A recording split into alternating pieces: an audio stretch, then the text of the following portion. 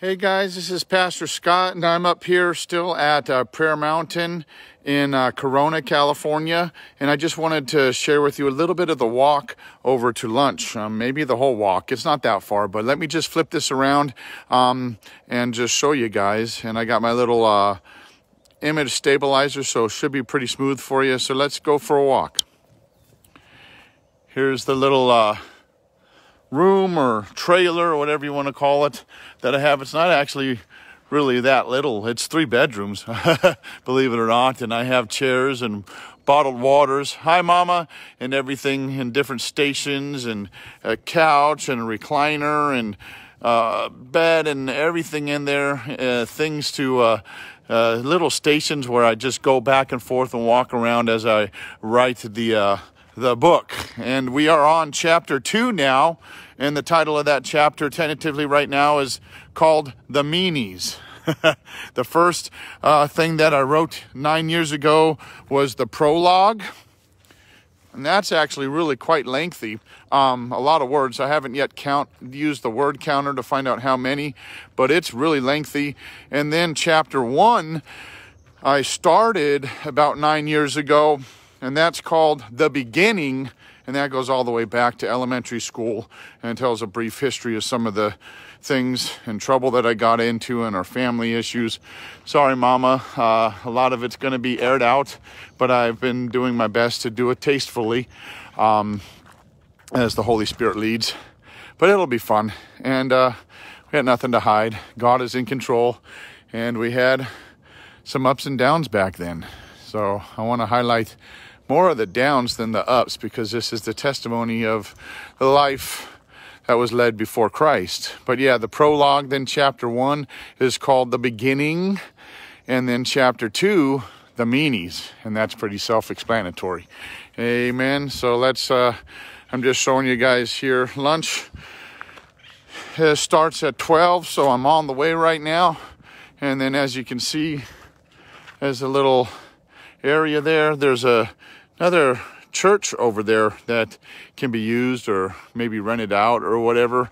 Um, but yeah, this is Prayer Mountain in Corona, California.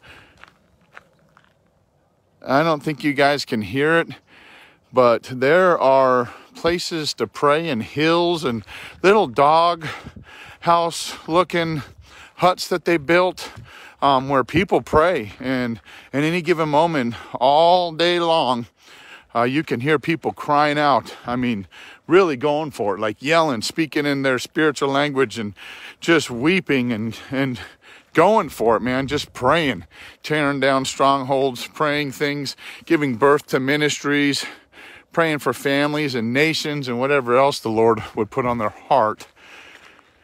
But this is it's beautiful up here. It's um not very renovated or whatever. They got the property years and years ago after, I believe, five years. The prayer warriors from Grace Chapel, the Lord spoke to them and said, This property will be yours. They travailed in prayer.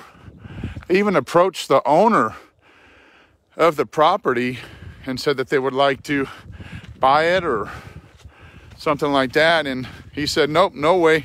Not going to happen. And then they prayed consistently every day. They came to the foot of the hill and they prayed and called it forward. Just like God said, let there be light, even there was no light. And light happened. And so everything was created. They did the same thing and spoke to this mountain, told it to come forth.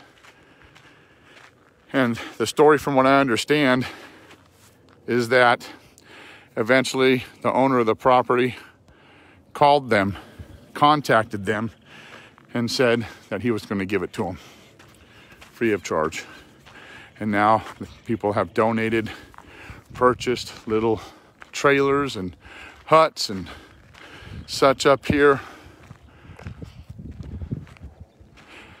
And then you just show up, tell them what you want to do, they make you sign a little waiver now and they give you a key to one of these places and you pray. And then they have three prayer services every day 6 a.m., 11 a.m. and 8 p.m. And then Esther and the team prepares a lunch and a dinner. 12 p.m. lunch and 6 p.m. dinner in between the services to feed the saints. It generally consists of rice and kimchi, some vegetables from the garden that they have here. I believe this is the pastor's house. And he is faithful. He's been here doing three services a day for years, and the occasional break, probably weekly, given by the associate pastor.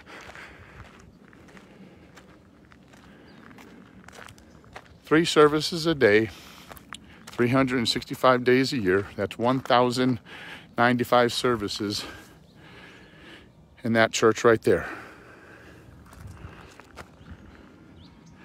And over six or seven hundred meals prepared for the servants of God every year.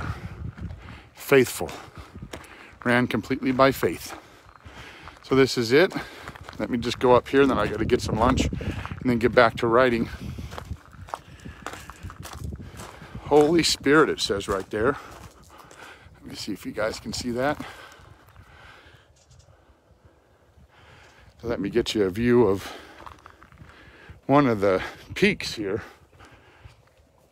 We got the cross right there. Just look at this. It's just beautiful. And they do their best. And they're working constantly up here, keeping the place pretty, cleaning up, and doing stuff. But yeah, Prayer Mountain, Corona, California. The chairs, even an old recliner. That's hilarious. I don't know about sitting in there, but if you want to. This is Pastor Scott checking out Prayer Mountain. Let me flip this around. Keep me in prayer as I am on currently probably about one third of the way done with chapter two of the book. Um, yeah, did a little Googling and found out that the average chapter word count is from three to 5,000 words per chapter. So that's what I'm trying to keep, keep each chapter in that range. Amen. So God bless you guys. Keep us in prayer. If you need anything at all, give us a call at 1 855 70 Jesus. Pray, pray, pray. And God's going to get the glory, as always. Everything we do. I love you guys. Lunchtime. Peace.